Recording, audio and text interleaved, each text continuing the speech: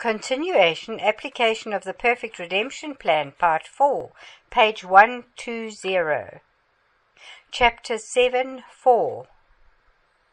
Faith is knowing that God your Father is faithful, love, good, is willing to use his power to meet your desires, and is not slow concerning his promises. Many people try to work their faith. They think they have to strain at it to violently draw things from God. They even believe faith is a currency that we use to buy things from God or to get things from God. I, Jerry, when I was a spiritual babe, also thought that faith was a currency to buy things from God. It was a good example to help people understand how things work in the spiritual realm using everyday life examples. Unfortunately, people who used that example were overpowered by the greed, even the spirit of Balaam and Mammon.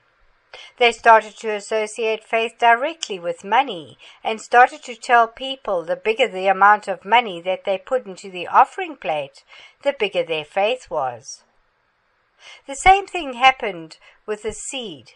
Initially, the intention on teaching on the seed was noble, for everything in the kingdom of God is in seed form and then it grows. And there is a concept of sowing and reaping in the kingdom. But unfortunately, very soon the people who used that example of the seed were overpowered by greed and associated the seed with money. And now, when you turn on Christian television, they are always asking you, sow your seed, sow your seed of faith, plant your seed into this ministry, for it is good soil, asking for your money. Jesus tells us the seed is the Word of God, Luke 8, verse 11, and the soil is your heart. For the seed of the word of God is sown in your heart. For with the heart one believes unto righteousness, and with the mouth confession is made unto salvation, deliverance, prosperity, and healing. Romans 10, verse 10. Do not hate people who have abused the example of faith being a currency of heaven, or people who have abused the example of the seed. Those who used those examples initially had noble motives, but over the years greed crept in. Christians should not hate anybody. He who says he is in the light and hates his brother is in darkness until now. 1 John 2, verse 9. He who hates his brother is in darkness, and walks in darkness, and does not know where he is going, because the darkness has blinded his eyes. 1 John 2, verse 11. If anyone says, I love God, and hates his brother, he is a liar. For if he does not love his brother whom he has seen, how can he love God whom he has not seen? 1 John 4, verse 20. So pray for them, love them, but hate the sin, even the financial manipulation they are using. We try to use only scriptural examples as much as possible so that we will not fall into the same traps of greed. It can happen to anybody. So pray for Jerry as well that he will not fall into financial manipulations too. First of all, you cannot buy anything from God. Paul explains it to us. God did not spare his own son, but delivered him up to die on the cross for us all. How shall he not with Jesus also freely give us all things? Romans 8, verse 32. So when you received Jesus, with Jesus, you also freely received all things. Peter tells us, according as his divine power has given unto us all things that pertain unto life and godliness, through the knowledge of him who has called us to glory and virtue 2 Peter 1 verse 3. What can you buy from God if He freely gave you all things, not some things, but freely all things that pertain to life and godliness? Paul tells us, Now we have received not the Spirit of the world, but the Spirit who is of God, that we might know the things that are freely given to us of God. 1 Corinthians 2 verse 12. Jesus himself tells us, freely you've received, freely give. Be it salvation of the souls, the preaching of the gospel, the healing, the deliverance, the raising of the dead. It is free. Matthew 10, verse 7 to 8.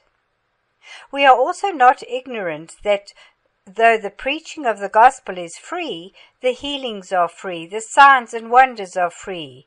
Yet it costs money to print materials, to travel, to do mission, to feed the hungry and clothe the naked, etc. And Paul told us, Do you not know that those who minister about holy things live of the things of the temple, and those attending the altar are partakers with the altar? Even so, the Lord ordained those announcing the gospel to live from the gospel. 1 Corinthians 9, verse 13 to 14. Please read the Bible study on biblical prosperity to have a sound teaching on the subject of finances in the kingdom of God. So, if faith is a currency that we use to buy things from God, then God will be a liar since he said he freely gave us all things that pertain to life and godliness. When I was a child, I spoke as a child, I understood as a child, I thought as a child. But when I became a man, I put away childish things. 1 Corinthians 13, verse 11. I've already confessed that I, Jerry, once spoke and thought that faith was a currency, but when I saw the abuses done with that example, I cried out unto the Lord for a scriptural example to help believers. So I'm not putting anybody down. If you still use the example of faith being a currency of heaven and are able to avoid the financial manipulations that have crept in with that teaching, you will do well. Yet I'm showing you a better and scriptural example which cannot be peddled or adulterated by man's greed. Why should we buy things that already belong to us? So faith is not a currency. Isaiah said, Ho, everybody who thirsts, come to the waters, and you who have no money, come buy and eat. Yes, come buy wine and milk without money and without price. Isaiah 55 verse 1. Can you put a price on the death of Jesus? How much money do you have to buy the life of Jesus? Everything that pertains to our life and our godliness, we received it through the death, burial, and resurrection of Jesus. You cannot buy it. I know it sounds good when we liken faith to a currency of heaven, to buy things from God, but it is not. Jesus never taught it that way, nor did his disciples, for God has already given us everything freely. Paul says, But without faith it is impossible to please God, for he who comes to God must believe that he is, and that he is a rewarder of those who diligently seek him. Hebrews 11 verse 6. Our problem is, when we read this verse, we think, since we are talking about reward, therefore faith is a currency. The problem is, if you think faith is a currency, you will try to work at it, to get things from God. You'll try to do the good deeds of the law, to pray long enough, to fast long enough, to get your reward or wage from God. And you will be thinking, when I am doing all those good deeds of the law, I am putting some faith currency into heaven, so that when I have enough faith currency in the bank of heaven, I can buy something from the storehouse of God. It sounds good, but faith is not that. All things are already yours as a son. So why do you want to buy what is already yours? Luke 15 verse 31 and 1 Corinthians 3 verse 22 to 23. We must think like Jesus thought and like the apostles thought. It is a family relationship. You are sons and daughters of God. You belong to the household of God. You live under the same roof with God the Father and your elder brother Jesus. Paul tells you, Now therefore you are no more strangers and foreigners, but fellow citizens with the saints and of the household of God. Ephesians 2 verse 19. In that story of the prodigal son in Luke 15, the prodigal son did not have to buy his inheritance from his father. The father gave him his inheritance freely. When the elder brother was complaining that he had served the father all those years, and the father had never given him a calf to kill for parting with his friends, the father told him, All that I have is yours. Faith is what we do that pleases our Father. When we act like our Father expects us to act, when we say what our Father expects us to say, when we do what our Father expects us to do, it pleases our Father. John tells us, Whatsoever we ask, we receive of him, because we keep his commandments and do those things that are pleasing in his sight. 1 John 3, verse 22. We have already explained what it means to please God or to delight in the Lord, according to the Scriptures. It is to keep His commandment, to hate evil, and depart from it, to practice righteousness. He acts on the Word of God, embraces the sanctified life of Jesus, His truth, and His way. So, when a person says he has faith in God or believes in God, that is what he does. When I was growing up we always had food in our house, and in the deep freezer we always had baguettes, at least forty every week. Having breakfast or lunch was never a reward. When we wanted breakfast we would open the deep freezer and take as many baguettes as we wanted. That was faith. We believed that our parents were good parents who provided everything we ever needed for our breakfast. We believed that they were good parents who would never allow their children to suffer hunger. We believed that our parents were faithful to their words when they said to us there is always food in the deep freezer and fridge. It was so.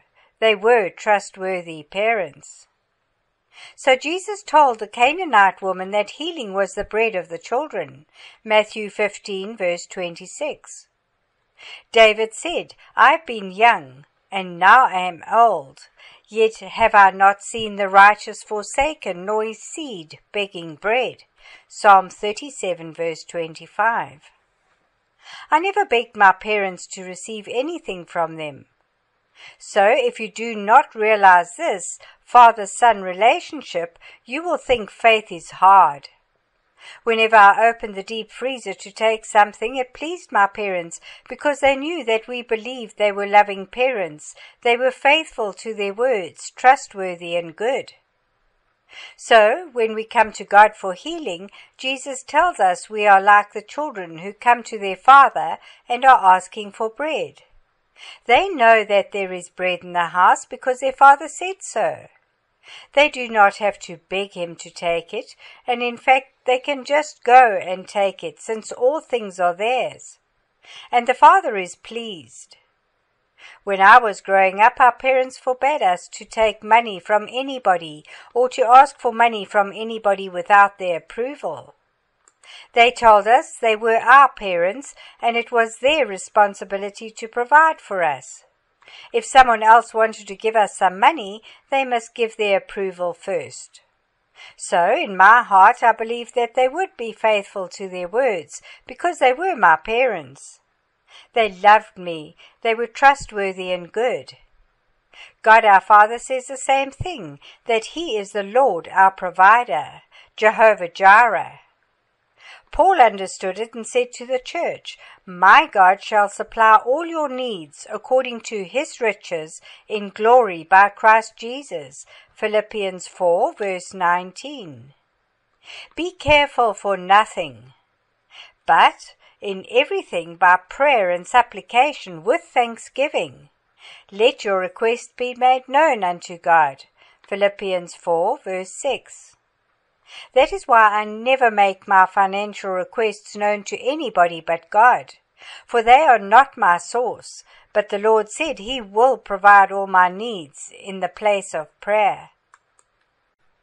Faith is to believe your Father God loves you, He is always good, He is trustworthy, and He will be faithful to His words.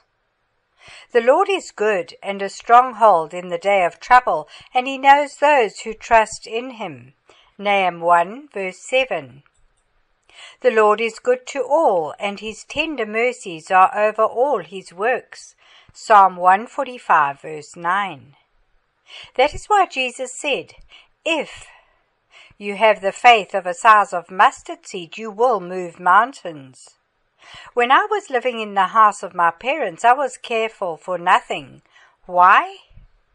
Because I knew whatever I needed, they provided. I did not even need to ask for certain things. I just went and helped myself. And it pleased my parents, for they saw that we believed they loved us, they were good, they were trustworthy, and they were faithful to their words. Faith is what we do, say, or think that pleases the Father, that shows Him that we believe He is love, He is good, He is trustworthy, and He is faithful to His words. When I believe God for prosperity and act accordingly, for faith without works is dead, it pleases the Father, for He already said it is mine. All His promises are yes and amen in Christ Jesus. 2 Corinthians 1 verse 20. Many people do not have parents who say yes to them. When they ask for something, their parents always say, I will think about it and let you know.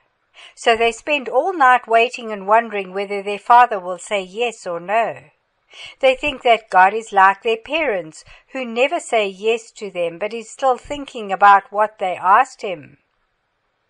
Some other people had divorced parents, so whenever they came to their father and asked for something, the father would answer, I have nothing for you. Go and ask your mother. She left with all the money when she divorced me. And even when they are grown up and have their own children who are already in university, they still believe that God is like their earthly father who said those words to them. My prayer is that no matter how your earthly father was relating to you, you will read your Bible and renew your mind and see God the way he portrayed himself in the Bible. And in return, you will be able to relate with your own children the way God relates with us. It is never too late. You might not have had the best parents, but you can be that best parent for your children and not relate to them like your father or mother related to you, but like God relates to you according to the scriptures. When we were growing up in my parents' house, we knew what was forbidden, what was allowed. We knew if we asked certain questions, our father would say yes, because he already told us what our boundaries were. And many times when we knew the kind of question they would always say yes to, we would go ahead and take the initiative of doing it and report back to them.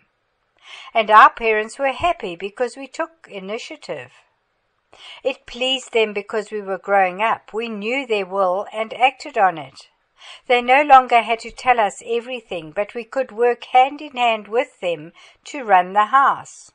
We were laborers together with them in the house. 1 Corinthians 3 verse 9. It is the same thing in the kingdom of God. All the promises of God are yes and amen. As long as it lines up with the word of God, they are yes, and so be it. 2 Corinthians 1 verse 20. So we can act on them even without asking God. That is faith and it pleases God because we are growing up to the full stature of His Son, Jesus. We can be about our Father's business in the field. Luke 2 verse 49. Peter saw the lame man at the gate beautiful asking alms. He knew it was always God's will to heal. He knew Jesus had paid for the healing.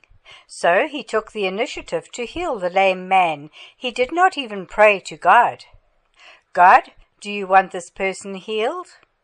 God would have said yes, so he went ahead and healed him in the name of Jesus.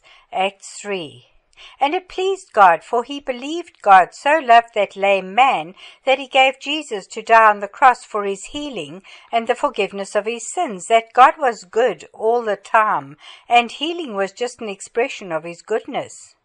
And above all, God is trustworthy and faithful to his words. He sent them to heal the sick, so he watches over his words to perform them. Jeremiah 1 verse 12. That is faith. The name of Jesus is faithful. These things says the Amen, the faithful and true witness, the beginning of the creation of God. Revelation 3, verse 14. Many times when we are acting on the Word of God, we feel like what God asked us to do is impossible, and we feel like we will never be able to do it.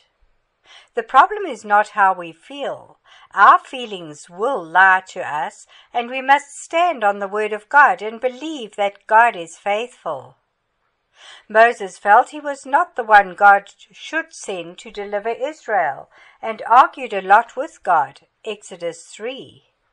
Gideon felt he was not the one God should send to deliver Israel from the Midianites, for in his own eyes he was the least of his father's house, and his clan was the smallest. Judges 6. Abraham and Sarah laughed at the promise, for they looked at their ages. It was impossible for them to conceive again. Genesis 17, verse 15 to 22, and Genesis 18, verse 9 to 13. Keep doing what God tells you to do, even if you do not feel like you have faith. Faith is not a feeling. We see with Abraham, Gideon, and Moses, God was faithful and did exactly what he promised. Paul says, For what if some did not believe? Shall their unbelief make the faithfulness of God without effect? God forbid. Indeed, let God be true, but every man a liar. Romans 3, verse 3 to 4. And we have seen what Abraham, Moses, and Gideon felt. Their moment of unbelief did not prevent the promise of God from coming to pass. The God who called you is faithful, and he will also do what he has promised you. 1 Thessalonians 5 verse 24. The Lord is faithful, who shall establish you and keep you from evil. 2 Thessalonians 3 verse 3. If we are faithless, he remains faithful. He cannot deny himself. 2 Timothy 2 verse 13. These sayings are faithful and true, and the Lord God of the holy prophets sent his angel to show to his servants the things which must shortly be done. Revelation 22 verse 6. As a man's name is, so is he. 1 Samuel 25 verse 25. Jesus' name is faithful, so Jesus is faithful. He will never deny himself. No temptation has overtaken you but such as is common to man. But God is faithful, who will not allow you to be tempted above what you are able, but will with the temptation also make a way to escape, that you may be able to bear it. 1 Corinthians 10, verse 13. Keep your part of the bargain by being pleasing in the sight of the Lord according to the Scriptures, and He will grant you the desires of your heart. When God rewrites your story, He does not remember the moments you doubted, the moments you were faithless, and the moments you laughed at His promises, for they seemed like idle tales to you at the time He spoke them. In Hebrews 11, Abraham, Sarah, and Gideon are all listed as heroes of faith. So shall you be listed as a hero of faith in the Lamb's book of life in heaven. For God is faithful and will do what he promised, as you willingly purpose in your heart to do the things that are pleasing in his sight, according to the Holy Scriptures. Let God be true, and every man, every temptation, every circumstance a liar. We do not look at the things which are seen, but at the things which are not seen. For the things which are seen are temporary or subject to change, but the things which are not seen are eternal. 2 Corinthians 4 verse 18. Some Christians have no problem believing that God is powerful and He can do anything. But they have a problem believing that God is willing to use His power to help them. That is religion. Religion does not doubt the existence of God or His powers, but it doubts His willingness to use His power to meet our personal need. Jesus wants to destroy that religious view of God in the minds of the people, that he has done his best to make us believe that God is our Father in heaven and we are his children.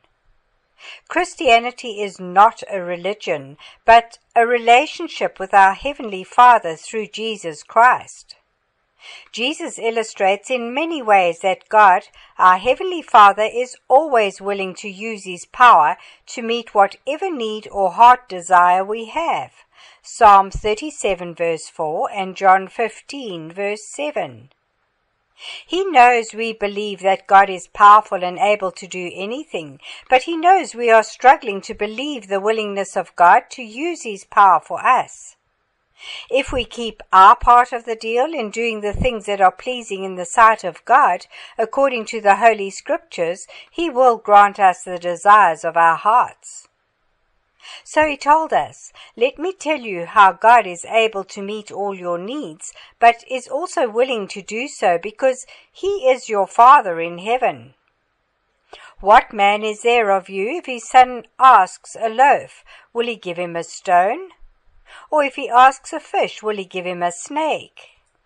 If you then, being evil, know how to give good gifts to your children, how much more shall your Father in heaven give good things to those who ask him?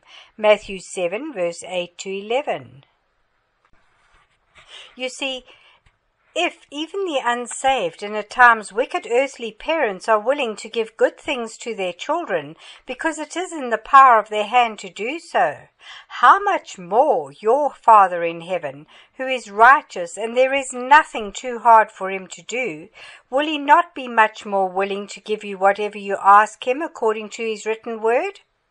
Especially when you are doing things which are pleasing in his sight. 1 John 3, verse 21 to 22. Now I say to you, ask, and it shall be given to you. Seek, and you shall find. Knock, and it shall be opened to you. For each one who asks receives, and he who seeks finds, and to him who knocks it shall be opened. Matthew 7, verse 7 to 8. To illustrate the willingness of God to use his power to avenge us from our adversary the devil, Jesus explains to us again, saying, Man always ought to pray and not lose heart. A certain judge was in a certain city, not fearing God nor respecting man. And a widow was in that city, and she came to him, saying, Avenge me of my adversary. And he would not do so for a time. But afterward he said within himself, Though I do not fear God, nor regard man, yet because this widow troubles me, I will avenge her, that she not wear me down in the end. Luke 18, verse 1 to 5. Now our adversary is the devil who walks about like a roaring lion, seeking whom he may devour. 1 Peter 5, verse 8. He comes but to steal, kill, with sickness, disease, and premature death, and to destroy people's lives with sins and addictions, destroy people's marriages, destroy people's businesses, destroy people's studies and careers, etc. John 10, verse 10. But seeing the example of that wicked earthly judge who did not fear God nor regard men, what he said, and how he avenged that widow. And shall not God avenge his own elect who cry day and night to him, though he has been long suffering over them? Luke 18, verse 6.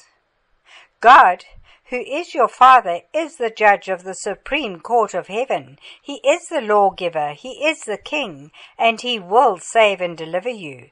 Isaiah 33, verse 22. You are his son or his daughter. He hates it when anybody touches you. He says, Touch not my anointed, and do my prophets no harm. Psalm 105, verse 15.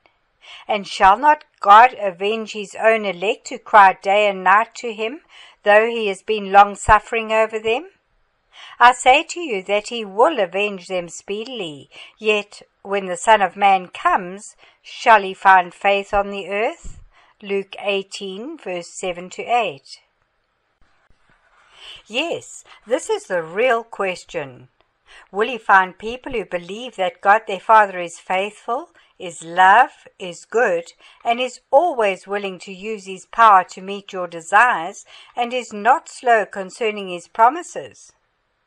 When a person stops believing, he says within himself, What is the point of trying to please God again? Let me eat and drink, live in sin like the world, for tomorrow we all die. 1 Corinthians 15, verse 32. What is the point of praying at least one hour as Jesus commanded us? Matthew 26, verse 40. For I do not see how my deliverance will come. What is the point of serving the Lord in spirit and truth? For it seems it has been in vain. It is useless to serve God. What profit is it that we kept his ordinance to be pleasing in his sight, and that we have walked like mourners in fasting before the Lord of hosts? Malachi 3 verse 14. Jesus tells us, do not be discouraged. Encourage yourself in the Lord in the midst of your trouble, like David, the man after my own heart did. 1 Samuel 30, verse 6. Do not stop serving me in spirit and truth, keeping my commandments and doing the things that are pleasing in my sight. And do not stop praying. You always ought to pray no matter what. I will avenge you speedily of your adversary. For thus says the Lord that created the heavens. God Himself that formed the earth and made it, He has established it. He created it not in vain. He formed it to be inhabited. I am the Lord, and there is none else. I have not spoken in secret, in a dark place of the earth. I did not say unto the seed of Jacob, Seek me in vain. I, the Lord, speak righteousness. I declare things that are right. Isaiah 45, verse 18 to 19. For God is not unrighteous to forget your work and labor of love, which you have shown toward his name, in that you have ministered to the saints and do minister.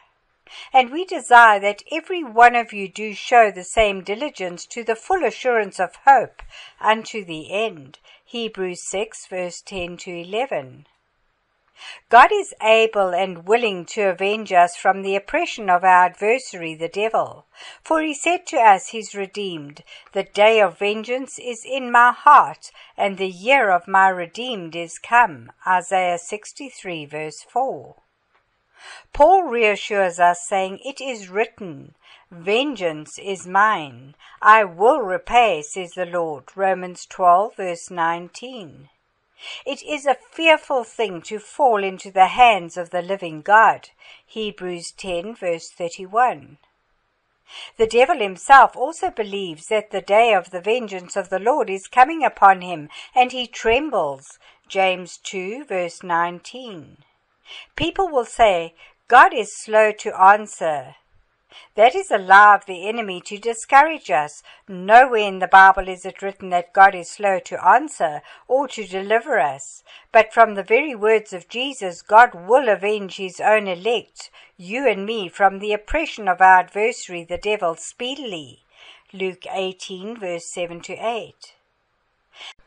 And Peter hammered the point home, saying, The Lord is not slack concerning his promise, as some men count slackness, but is long suffering to usward, not willing that any should perish, but that all should come to repentance. 2 Peter 3 verse 9.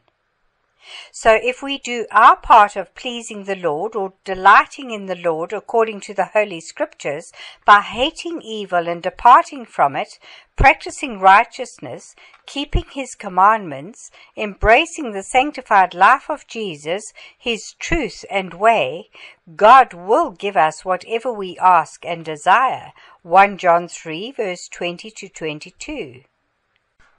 Some people, after they believe that God is powerful to meet their needs and willing to use His power to give them the desires of their hearts, have been deceived by adversary the devil to believe that God is slow concerning His promises and that He will not act speedily on their behalf. And as a result, they have given birth to an Ishmael instead of an Isaac. Father Abraham was of the kind. It happens a lot in healing or in prosperity, etc.